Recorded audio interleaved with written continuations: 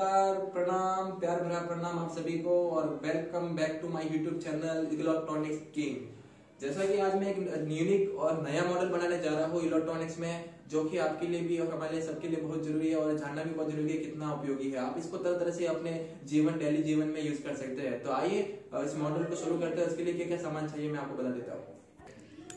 इसके लिए हमें इस प्रकार के कुछ सामान चाहिए जो आपको इस प्रकार से लाने पड़ेंगे। इसके लिए अलग अलग मैंने सामान लिया जैसे कि मैंने यहाँ पे दो ट्रांसफार्मर लिए, जिसके तीन वायर आउटपुट में है। यहाँ पे आप दो वायर भी ले सकते हैं, लेकिन मेरे पास पहले से ही तीन वायर अवेलेबल थे, इसलिए मैंने तीन वायर के ट्रांसफार्मर लिए। ठीक है, एक अपने टेस्ट लैंप लिया जो कि ये चेक करेगा कि अपना मॉडल सही से काम कर रहा है या नहीं कर रहा एक यहाँ पे मैंने मल्टीमीटर लिया है जो कि आपको रीडिंग देगा कि यहाँ पे कितना आउटपुट वोल्ट हो रहा है, कितना नहीं हो रहा है। यहाँ पे आप डिजिटल मीटर भी यूज़ कर सकते हैं और मैंने एक और चेक करने के लिए अपने पास में फ़ोन चार्जिंग भी रखा है। यदि आप मेरे चैनल पे नए हैं तो प्लीज़ फ्रेंड आप सभी से आग्रह है, निवेदन है कि मेरे चैनल को सब्सक्राइब और लाइक ज़रूर करिएगा। तो आइए हम शुरू करते हैं अपने मॉडल को। सबसे पहले ये जो ट्रांसफार्मर है हमने लिया है, इसको पहले अपने लाइट में कनेक्ट किया है। स्विच भी ऑफ़ रखेगा, वरना आपको करंट भी लग सकता है। यह काफ़ी केयरफुल से काम करना आपको, ठीक है? सावधानी पूर्वक करना, वरना झटका लग सकता है, ठीक है? हमने अपने आपस में दो ट्रांसफार्मर लिए, इसको आपस में कनेक्ट करना। कनेक्ट करने के पश्चात हमें क्या मिलेगा कि ये इसके दो ये जो वायर रहता है, हम इसको इनपुट करते हैं, ठीक है? तो आप समझना मैं किस प्रकार से इसके वाइंडिंग कर रहा हूँ, इसको किस प्रकार से कनेक्ट करता हूँ। हम इसको लाइट में डालते हैं तो इसी प्रकार ये वायर को हमने लाइट में डाला हुआ है, लेकिन यहाँ पे उल्टा कनेक्ट करने का जब इन दोनों को उल्टा कनेक्ट करेंगे तो ये जो ट्रांसफॉर्मर है ऑटोमेटिकली जनरेट करेगा 240 वोल्ट 230 वोल्ट जो अपने घर पे चलता है। ये कैसे होता है, ये इसका ही काम है, और ये ट्रांसफार्मर इसी सिद्धांत पे कार्य करता है। तो आइए ट्राई करते हैं किस प्रकार से काम करता है। दोस्तों, कुछ इस प्रकार से आपको कनेक्टेड करना है, जो कि तीन वायर वाला है। यहाँ पे मैंने आपको पहले से बता दिया कि आप दो वायर वाले भी ले सकते लेकिन मेरे पास ऑलरेडी तीन वायर वाले थे, इसलिए मैंने तीन वायर वाले ट्रांसफार्मर लिए हैं। तो आपको देखो, मैंने ऑलरेडी यहाँ पे कनेक्ट करके रख चुका रख चुका हो, और आप भी इस प्रकार से कनेक्ट करना है। जो दो वायर है, इस आपस में कनेक्ट करना है। ये जो बारह वोल्ट का एक वायर है, ये बारह वोल्ट का, और इसको कॉमन बोलते हैं, ठीक है? यदि ये वायर नहीं होता तो कोई बात नहीं, आप डायरेक्टली दोबारा वोल्ट पे कनेक्ट कर सकते हैं एंड इस प्रकार से कनेक्ट करने के बाद आप यहाँ से पाएँगे, ये जो वोल्ट वायर रहते हैं, ये वाले, ये अपने जो बोर्ड में इन करते वो वाले वायर है। अब यहाँ से हमको, यहाँ से जैसे कि हमने इन किया, जैसे यहाँ से हमने इन किया 230 वोल्ट इसके अंदर इन हुआ और 12 वोल्ट बाहर निकला। 12 12 और ये कॉमन तो 24 वोल्ट ये बाहर निकालना है। 24 वोल्ट को हमने इसके अंदर इन किया। इसके अंदर इन करते ही अब ये 230 वोल्ट बाहर निकलेगा। क्या ऐसा होता है या नहीं होता? आइए जानते हैं।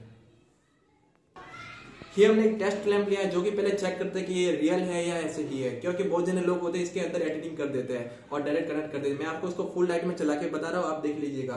यही, ये देखिए, ये भाई अब मैं इसको इन कर रहा हूँ फुल लाइट में। अगर ये लगता है तो इसका मतलब ये फुल लाइट में चलने वाला है।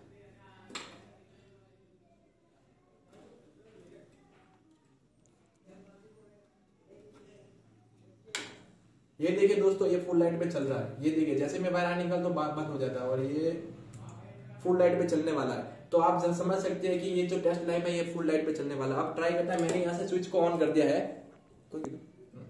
अब देखिए, मैंने यहाँ से स्विच को ऑन कर दिया इसका वोल्टेज सीधा इस ट्रांसफार्मर के अंदर आ गया। इस ट्रांसफार्मर से आप अपने 12 वोल्ट इसके अंदर इन किया। और ये आप देखते हैं कि इसका आउटपुट कितना होता है। यदि पहले यहाँ पर मीटर से चेक करते हैं, आइए तो मैं मीटर पे बता देता हूँ।